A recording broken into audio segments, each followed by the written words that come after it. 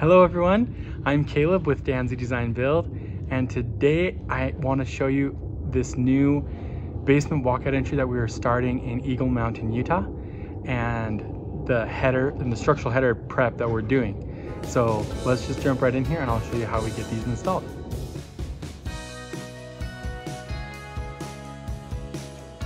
So we start by fabricating the steel header piece and in this case this is a five inch header that's 3 eighths thick. And this is something that's specified by the engineer. And then we actually get this, we cut this out and get all the bolt holes cut to the pattern that he specifies.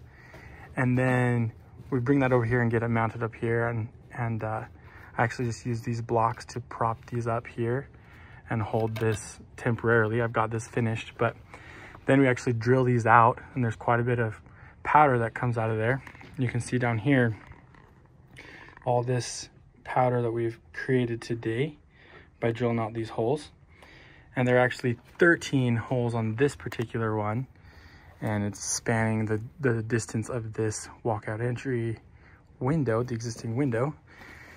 And the reason we need to do this is because this um, concrete header is going to need to be cut out. This is a mark that's 83 inches above the inside floor inside the basement. And so that's the height we need to get a door to fit here. So this just fits perfectly here to, to let us have about an inch of space between this and then the actual door that's gonna go in here. Then when we do the concrete cutting, we're gonna cut this open right here and all the way across the top. And then this is going to assume the, the weight of the house. And we're actually going to put another one of these on the inside of the house as well.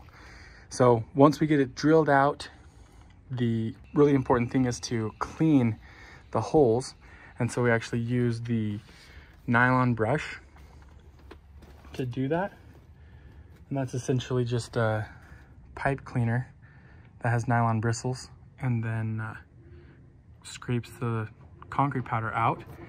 And then we blow it out with uh, compressed air and then do the nylon brush again and then do the the brush again and then the compressed air back and forth until it's clean. And then we can actually put the epoxy in and that's actually two part chemical. And that is something that we just use with the uh, with like a regular caulk gun and put that in there. It's a chemical basically. Kind of looks like cement when it's done drying but is intended to secure structural members like these bolts to a concrete foundation.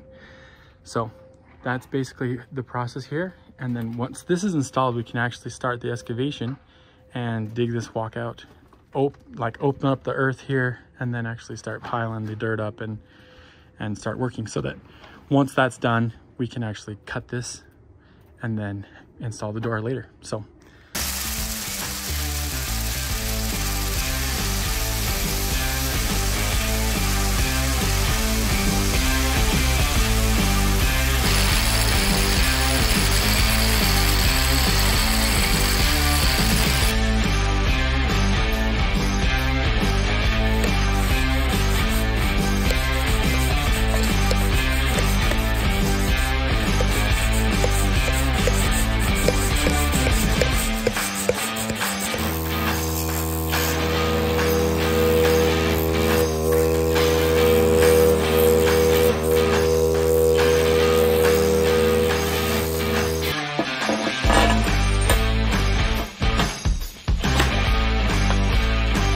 So that's a little bit about how we get these walkout entries ready to go.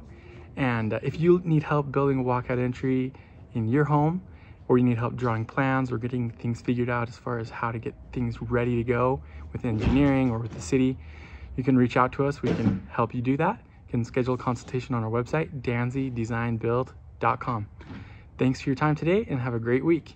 Talk to you later. Bye.